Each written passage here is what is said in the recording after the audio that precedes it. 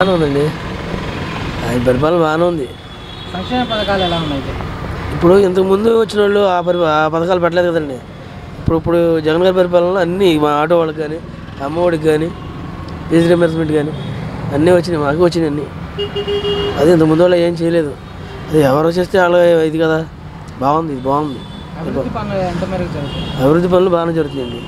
బాగానే చేస్తున్నారు. పెట్రోల్ ధరలు డీజిల్ పెట్రోల్ ధర డీజిల్ ధర పెరిగినాయండి బాగా బాగా పెరిగినాయి మరి. ఈ కేంద్రం లోపం మరి ఈ రాష్ట్రం లోపం మనకు తెలియదు మరి. ఈ రేట్లు తగ్గించాలి బాగా. ప్రతి నిత్యావసర వస్తువులు పెరిగిపోయినాయి మళ్ళీ రేట్లు. ఒక మంచినీటి ప్యాకెట్ రెండు వందల రూపాయలకి వెళ్ళిపోతుంది? ఇవి పెరిగిపోతున్నాయి మరి. ఇవే రాష్ట్రంలో ఇవే తగ్గించాలి మరి. ప్రతి ఇంటి ప్రతి ఇంటికి రేషన్ డోర్ డెలివరీ చేస్తున్నారు కదా. చేస్తున్నారు. దాని పరిస్థితి ఏంటి? ఎలా ఉంది? మాకు బాగానే ఉంది. మా ఇంటి దాకా వస్తుంది. ఇంటి ముందుకు వచ్చి ఇంటి ముందు పెడుతున్నారు బండి ఇస్తున్నారు. రోజు జరుగుతున్నాయి కాబట్టి జరుగుతున్నాయని చెబుతున్నామండి. లేకపోతే అలా చేయం కదా. మా ఇంటి ముందుకే పెడుతున్నారు.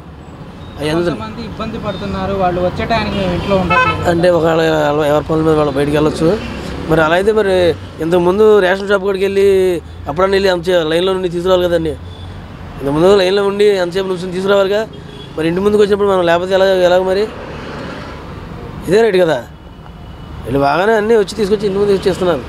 అందుతున్నాయి అన్నీ బాగానే అందుతున్నాయి. చేస్తున్నారు పనులు జరుగుతున్నాయని జరుగుతున్నాయి అన్నాం. ఈ ఈ పరిపాలన అనేది ఆయన అంటే ఇష్టం కాదు ఈయన ఇష్టం కాదు మేము. ఎవరు ప్ర- ప్రభుత్వం వాళ్ళు చేస్తే వాళ్ళు బాగుంటుందంట. తిరుపతిలో నిన్న ఎలక్షన్ జరిగింది కదా చూసారా? న్యూస్లో అన్నారు దొంగకొట్లు అన్నారు బస్సులో ఎవరు వచ్చారన్నారు బస్సులో బస్సులో ఆపారన్నారు అది మనకు తెలియదండి అసలు. బస్సులో ఉన్న వాళ్ళు దొంగ ఓటర్లు అని చెప్పేసి అని అన్నారు. ఏమంటే అందరూ ఇష్టమై జగన్ గారికి వేశారు అది చేసేది ఏముంది? వాళ్ళు దొంగోట్లు వేశారు ఇక్కడ దొంగట్లు వేశారని కాదు. ప్రభుత్వంలో ఏదో ఉంటే పనులు జరగాలనుకుంటే దానికే చేస్తారు. ఎవరు పనులు బాగా చేస్తారంటే వాళ్ళకే చేస్తారు. అంటే అసలు వాళ్ళు దొంగ ఓటర్లు అని ఎందుకు చెప్పాలి? ఎవరో ఒకరు సెట్ చేసి అలా ప్రభుత్వం ఇలా కావాలని చెప్పి ఈ ప్రభుత్వం మీద బురద జల్లుతాకి ప్రతిపక్షాలు ఉన్నాయి కదండి. కావాలని చెప్పి జల్లుతుంది తప్పితే ఏముంది? ఒకరు బాగున్నారంటే ఇంకొకరు దాని మీద ఏమైనా గడ్డ వేయాలి. ఏదైనా పోటీ చేస్తుంది తప్పితే అన్నీ జరిగేటప్పుడు అది ఎందుకు అనుకోవాలి నాకు ఇది కేవలం ప్రతిపక్షాలు అలా చేసుకుంటే బయట వాళ్ళు గిట్టని వాళ్ళు అలా చేసుకుంటామేనండి దొంగ ఓట్లు కావాలని చెప్పి తీసుకొచ్చి రావాల్సిన అవసరం లేదు. ఎన్ని సీట్లు వచ్చినాయి? నూట యాభై సీట్లు వచ్చినాయి. ఎందుకు వచ్చినాయి? అందరూ వేస్తేనే కదా వచ్చింది. అది దొంగ ఓట్లు అవుతాయా? వీళ్ళు కావాలని చెప్పి అలా చేసుకుంటమే. అదే అదే అనుకోవడం తప్పండి అది. అంటే కొంతమంది ఓట్ కార్డ్ చూపిస్తూ ఆల్రెడీ మా ఓటు వేసేసారని చెప్పేసి ఏదైనా కొంతమంది ఎక్కడన్నా- ముందే చెప్తున్నారు. చెప్తున్నారు. అది ఎక్కడన్నా ఒకటి రెండు జరిగిందేమో మనకు అది ఇది కాదు కానీ కావాలని ఎవరు వేయరండి. వాళ్ళు నుంచున్న నుంచోబట్టి టీడీపీకి ఏం లేదు బతకప్పుడు మొత్తం ఇవే వస్తున్నాయి వైఎస్ఆర్ఏ వచ్చేస్తుంది. దాని గురించి అనుకోవడం అనవసరం. ప్రభుత్వం మొత్తం ఇదే చేస్తున్నారు. పరిపాలన బాగుంది. ఇందులో బీజేపీ హస్తం ఉందని చెప్పేసి బీజేపీ వస్తుండి కూడా ఉండొచ్చు. బీజేపీ ఏం చేసిందండి రాష్ట్రానికి? ప్రతిపక్ష హోదాలో ఉండి మోడీ గారు ప్రతిపక్ష హోదాలో ఉండి ఐదేళ్ళు కాదు పదివేలు ఇస్తున్నారు పది సంవత్సరాలు ఇస్తున్నారు ప్రత్యేక హోదా. ఏం చేశాడు? ప్రధానమంత్రి అయ్యారుగా ఏమైంది మరి ఇప్పుడు ఇది అసలు బీజేపీకి ఎందుకు వేయాలండి ఓటు? దేనికి వేయాలి? అసలు బీజేపీకి వేయకూడదు. ఇష్టం ఉండేవాళ్ళు తెలుగుదేశం ఉంది ఇది వైఎస్ఆర్ ఉంది. వేసుకోండి తప్పలేదు ఎంతవరకు కానీ బీజేపీకి ఏ రకంగా వేయాలండి ఏం చేశారు మనకు? ప్రత్యేక హోదా ఇచ్చారు మన రాష్ట్రానికి. లేదు బీజేపీ అంటే అసలు ఇష్టం ఉండదండి అసలు. ఈ రాష్ట్రంలో రాదు అసలు. రాదు. ఓన్లీ ఇప్పుడు ప్రస్తుతానికి ఉన్నది వైఎస్ఆర్ అనే పనులు జరుగుతున్నాయండి. అన్ని పథకాలు జరుగుతున్నాయి. ఓన్లీ నేనే చెబుతున్నా మాకు ఆటో వచ్చింది. ఆటో ఆటోకి ఇచ్చారు. అమ్మాయికి పాపకి వచ్చింది అమ్మఒడికి పెద్ద పాప ఫీజు రియంబర్స్మెంట్ వచ్చింది. ఇంతకుముందు ఈ పథకాలు ఎవరు ఇచ్చారండి? ఏమైంది మరి ఈ పథకాలు? చేసేవాళ్ళు కూడా కూడా ఇలా బురద చల్లుతున్నారు మరి? ఇది కూడా చేయనప్పుడు ఏంటి పరిస్థితి? మా లే- లేని పరిస్థితి ఏంటి? మరి మా ఆటో పరిస్థితులు బావాలి అసలు. మరి మా పరిస్థితి ఏంటి? ఈయన జగన్ గారు వచ్చినా బాగా చేస్తానండి. రాజశేఖర రెడ్డి గారు మంచి ఇదండి ఆయన. ఆయన మనస్తే మంచిది. ఆయన గుండెల్లోంచి వచ్చాడు ఈయన. బంగారంలో చేస్తున్నారు వాళ్ళ ప్రభుత్వం బాగుంటుంది ప్రభుత్వం. మమ్మాడికి ఇదే వస్తుంది మళ్ళీ. చూస్తున్నాను నేను. అవునండి. అది. కొంతమంది మంచి ఉంటుంది కొంతమంది చెడు ఉంటుంది. అటు ఒక రకంగా భారీ ఎత్తున అమలు చేస్తున్నారు కదా అమ్మఒడి రైతు భరోసా ఆసరా చేయూత ఈ పథకాల గురించి వచ్చిన వాళ్ళకి మంచిగా ఉంది రాని వాళ్ళకి మంచిగా లేదు. మీకేమైనా పథకాలు ఏమైనా వచ్చాయా? నాకేం రాలే. అదేంటి మీకు ఇస్తారు కదా లోన్? ఆ లోన్ లేదు రాలమ్మా పదివేల రూపాయలు ఇస్తాను రాలే. రాలేదు అయితే పరిపాలన ఎలా ఉందంటారు మరి? రోడ్లు వేయడం కానీ అభివృద్ధి పనులు ఎంత మేరకు జరుగుతున్నాయి? అభివృద్ధి పనులు అంతగా క్లారిటీగా లేవు. అభివృద్ధి పనులు అయితే కాకపోతే మామూలు వాళ్ళకి డబ్బులు వేయటం వీళ్ళకి డబ్బులు వేయటం వరకు వెళ్ళి కానీ అభివృద్ధి పనులుగా అంతగా క్లారిటీగా లేదు.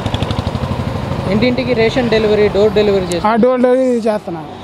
మీకు ఎలా ఉంది మరి ఆ పథకం ఎలా ఉంది? అంటే మామూలుగా బాగుండే వాళ్ళకి బాగుంటుంది మామూలుగా ఇంటింటికి డెలివరీ అంటే వాళ్ళు ఎప్పుడు వచ్చినప్పుడు మనం ఉంటాం ఒకళ్ళు ఉంటారు ఒకళ్ళు ఉండరు. ఇప్పుడు అదే మామూలుగా ఇచ్చే కాడ అయితే కొంతమంది వండప్పుడు తీసుకుంటున్నారు. లేకపోతే రెండో రోజు వెళ్ళి తీసుకుంటున్నారు అది.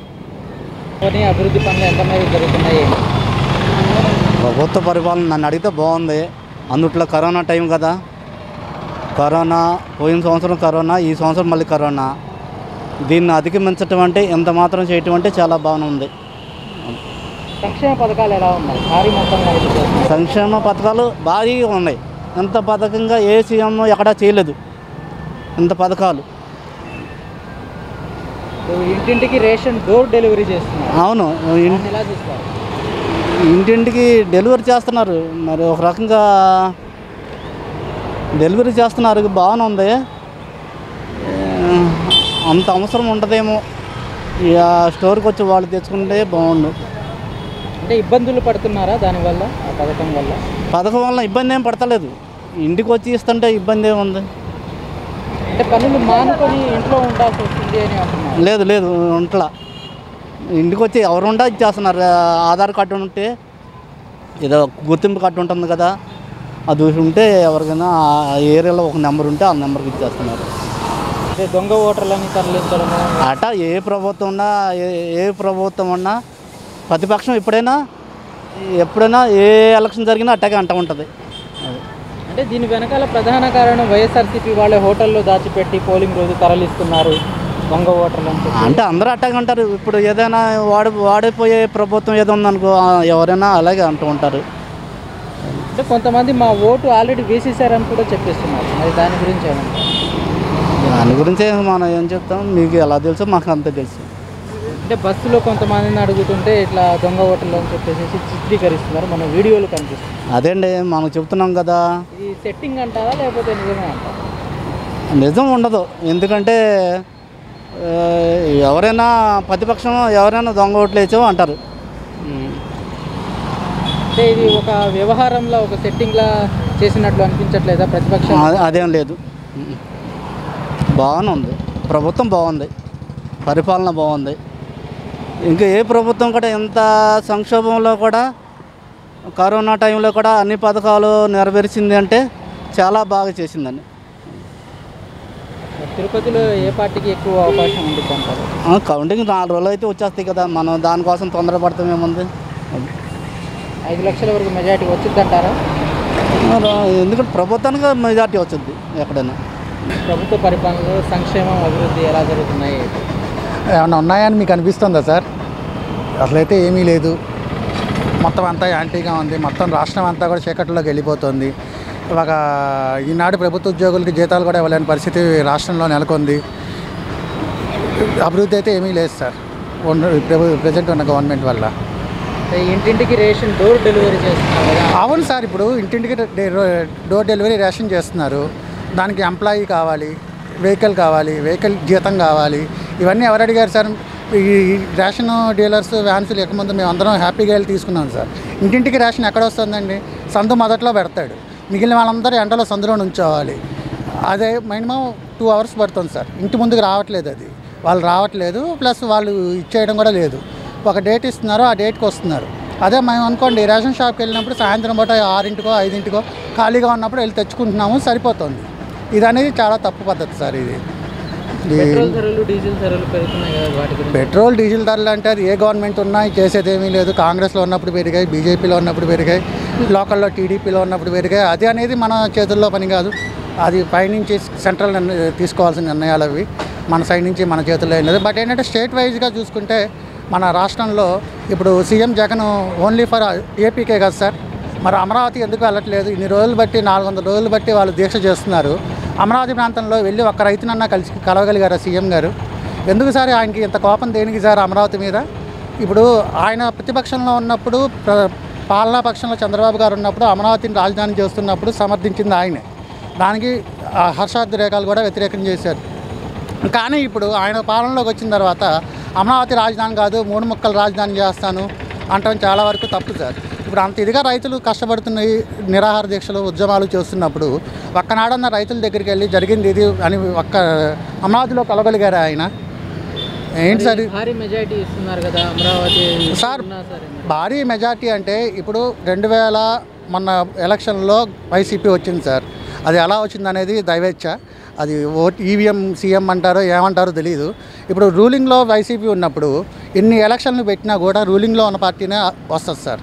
ఇప్పుడు ఫర్ సపోజ్ నా విషయంలో చూసుకోండి మాది థర్టీ టూ డివిజను. మా డివిజన్లో టీడీపీ గెలిచింది. ఆ టీడీపీ డిక్లరేషన్ కూడా మన కార్పొరేషన్ ఎన్నికల్లో కార్పొరేటర్ కింద నైట్ ట్వెల్వ్ థర్టీకి చేశారు సార్. ఆ ట్వెల్వ్ థర్టీ వరకు కూడా ఆ కార్పొరేటర్ని ఎంత ఇదిగా బెదిరించారో ఎన్ని ఫోన్ కాల్స్ చేశారో ఎంత ఇదిగా హెరాస్మెంట్ చేశారో మాకు తెలుసు. మేము అక్కడ లయోలా కాలేజీలో కౌంటింగ్ జరుగుతుంది. మేము అక్కడ ఉన్నాం. ప్రాక్టికల్గా చూసిన వాళ్ళం. మా అభ్యర్థిని మేము గెలిపించుకున్నాం. మా డివిజన్లో. ఆ డివిజన్లో మేము గెలిపించుకున్నందుకు రేషన్ కార్డులు ఇళ్ళ స్థలాలు తీసేస్తామని చెప్పి వాలంటీర్లు మాకు మెసేజ్ పెట్టారు సార్. మా మిస్సెస్ మొబైల్ డ్వాక్రాలో. అలాగా బెదిరింపు చర్యలు అనేది చేసుకొని ఇప్పుడు రూలింగ్లో ఉన్నప్పుడు సార్ ఇప్పుడు మీరు రూలింగ్లో ఉన్నారు నేను కార్పొరేటర్ని ప్రతిపక్షాన్ని ఏమైనా చేయగలుగుతామండి కాబట్టి సామాన్య జనం కూడా ఏం చేస్తారంటే రూలింగ్లో ఉన్న పార్టీకే అవకాశాలు ఉంటాయి. అంతకుముందు టీడీపీ ఉన్నప్పుడు ఎన్ని ఎలక్షన్లు జరిగినా టీడీపీని క్లీన్ స్వీప్ చేసింది సార్. అలాగే రూలింగ్లో ఉన్నప్పుడు అది చేయడం అనేది సహజం. రాజకీయాల్లో గెలిపోవటం కామను.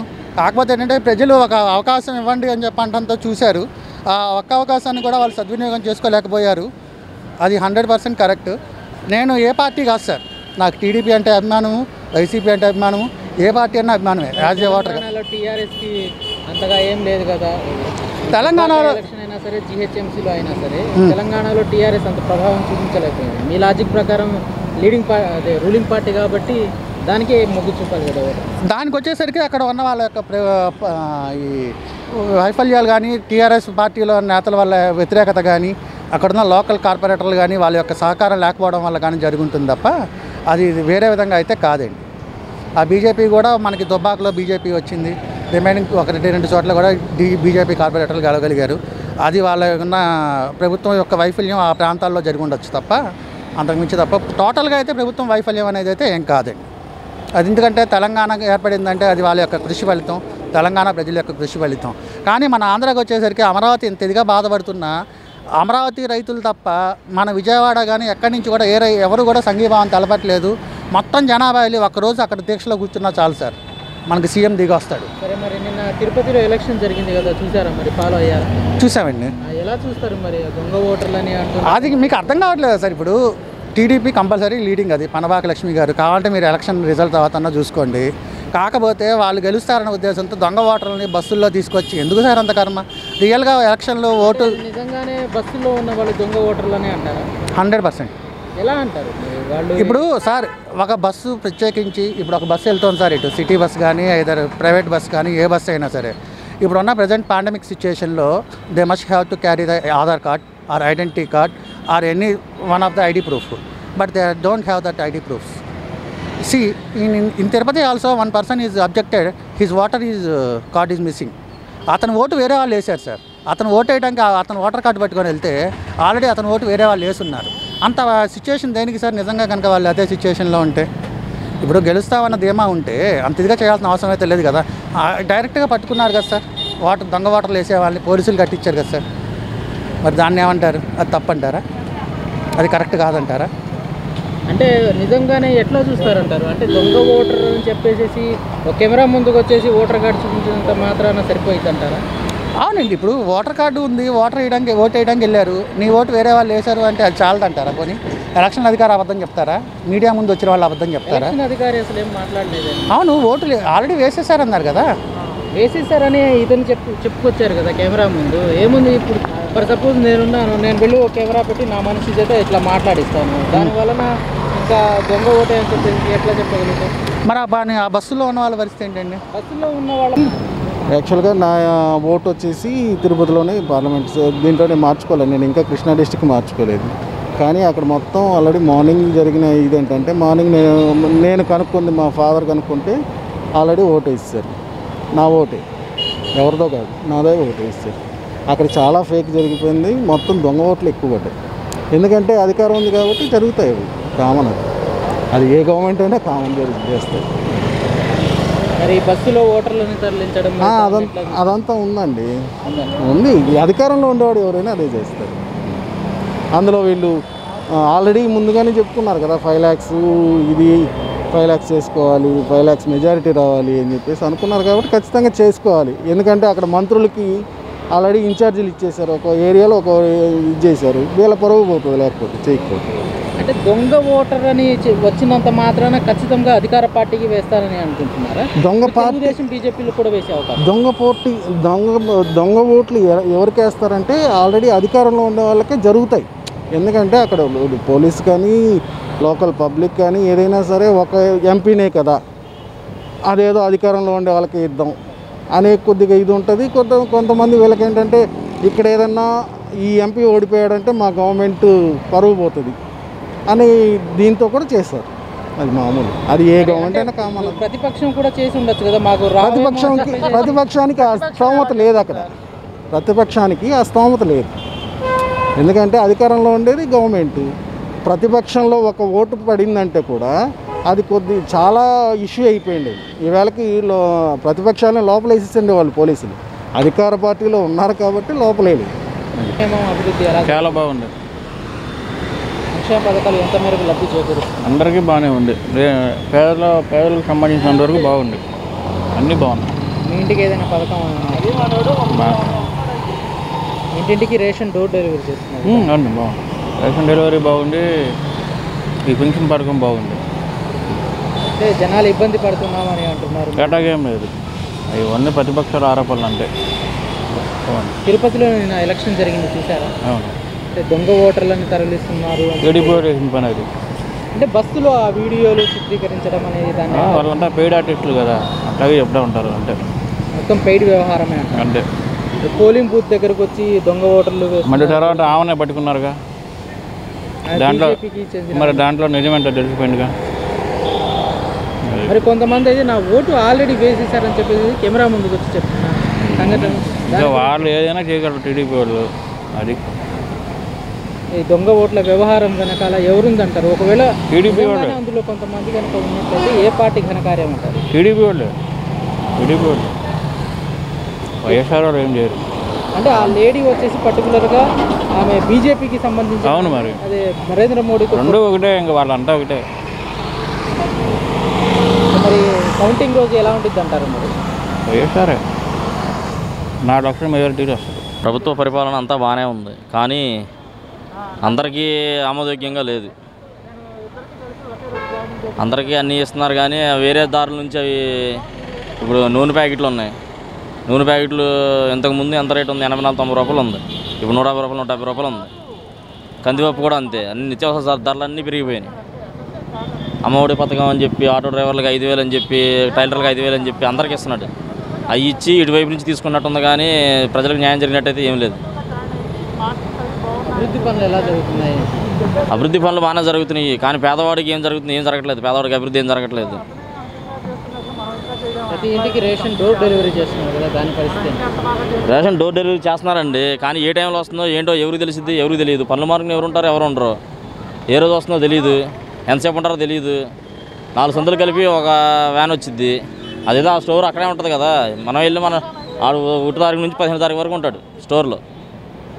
ఒకటో తారీఖు నుంచి పదిహేను తారీఖు ఉన్నప్పుడు మనకి వీలు కుదిరినప్పుడు వెళ్ళి తెచ్చుకుంటాం. ఉదయం సాయంత్రం రెండు గంటలు మూడు గంటలు తెస్తాడు. మనం నచ్చినప్పుడు వెళ్ళి తెచ్చుకుంటాము. వ్యాన్ ఎక్కడ వస్తుంది అట్లాగా? అది మా బాధ. తిరుపతిలో నిన్న ఎలక్షన్ జరిగింది కదా. ఫాలో అయ్యానండి. దొంగ ఓటర్లను తరలిస్తున్నారని చెప్పేసి చాలా వీడియోస్ వచ్చాయి. వచ్చినాయి. దొంగ ఇప్పుడు దొంగ ఓటర్లు అని చెప్పి వచ్చినప్పుడు వాళ్ళని అరెస్ట్ చేయాలిగా? మరి ఎందుకు అరెస్ట్ చేయలేదు? అంటే ఇప్పుడు వాళ్ళు ఎవరి తరఫున టీడీపీ తరఫున వైసీపీ తరఫున సరే ఎవరి తరఫున దొంగ ఓటు వేసిన అరెస్ట్ చేయాలిగా ముందు? మరి ఎందుకు అరెస్ట్ అటు నడుచుకుంటూ వెళ్ళిపోతున్నాడు ఒకడు. మరి ఎందుకు పట్టించుకోలేదు? అంటే పోలీసులు ప్రభుత్వం కొమ్ము కవ్వారేంటి నిన్నంతా అదే కదా జరిగింది. ఇప్పుడు మీకు దొంగ ఓటు వేస్తాను డౌట్ వచ్చింది. దాన్ని తీసుకెళ్ళి ఏమన్నా జైలు వేసేయాలి కదా నువ్వు? స్టేషన్లో వేసేయాలి. ఎందుకు ఇలా? ఎందుకు ఇలా చెప్పండి. బస్సులో కొంతమంది మహిళలు ఉన్నారు. మరి వాళ్ళు కూడా అదే అంటున్నారు. మరి దాని పరిస్థితి? ఆ వీడియో మహిళలు ఉన్నారండి. మహిళలు అందరిది ఇదే పరిస్థితి. ఇప్పుడు దొంగ ఓట్లు వేయడానికి అయితే వచ్చారు. అదైతే వాస్తవం కనబడుతుంది అక్కడ. ఇప్పుడు దొంగ ఓట్లు వేసింది ఎవరంటే టీడీపీ వాళ్ళు అంటున్నారు వైసీపీ వాళ్ళు అంటున్నారు.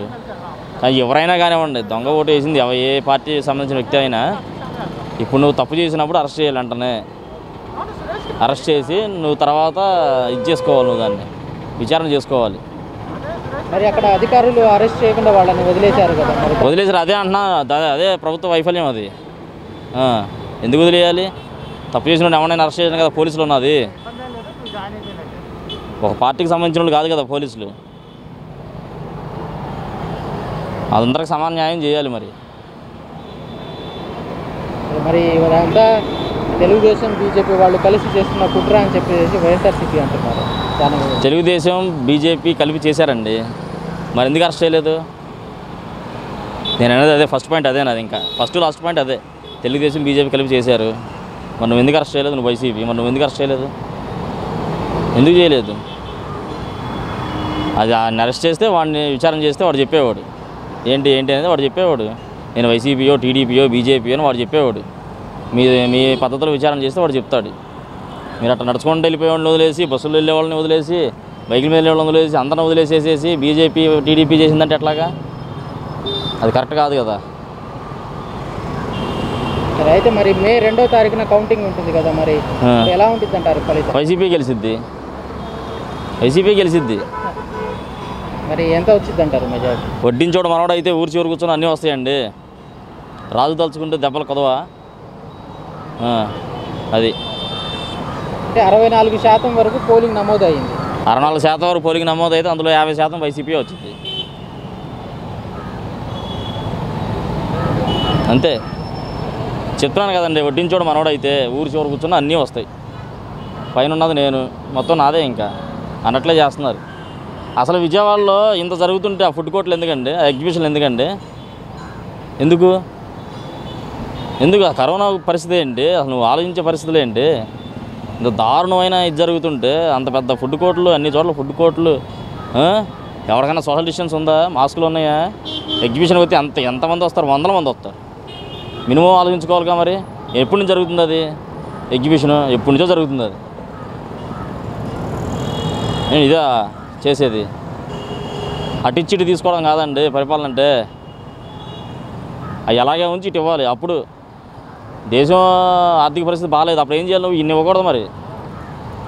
ఇన్ని ఇవ్వకూడదు మరి. ఇచ్చినోడు ఏం చేయాలి? అన్నీ అలాగే ఉంచి చేయాలి. ఒక సగటు మనిషిగా నా ఆవేదన ఇది. పెట్రోల్. ఏం చెప్తుంది దాని గురించి? వంద. వంద అండి వంద. ఆయన అనేది ఏమన్నా సెంట్రల్లో చేతిలో ఉంటుంది అనుకోండి కాదు బాధపడేది మనమేగా. బండి ఎక్కాలంటే వంద కొట్టించాలా. ఇదివరకు అరవై రెండు అరవై ఐదు డెబ్బై ఉండేది. పెట్రోల్కి డీజిల్కి తేడా పది పదిహేను రూపాయలు ఉండేది. తేడా ఎక్కడ ఉంది ఇప్పుడు? మూడు రూపాయలు తేడా ఉంది.